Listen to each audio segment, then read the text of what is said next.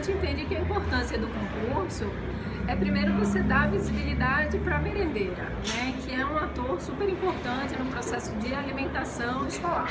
Porque ela é que transforma o alimento que é comprado, adquirido, num prato saboroso, em algo que as crianças queiram de fato aproveitar.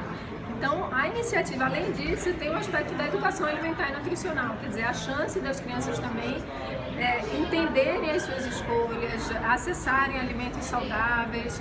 E a gente sabe que criança bem alimentada aprende muito melhor. Então, acho que a iniciativa reúne uma série de, de fatores positivos.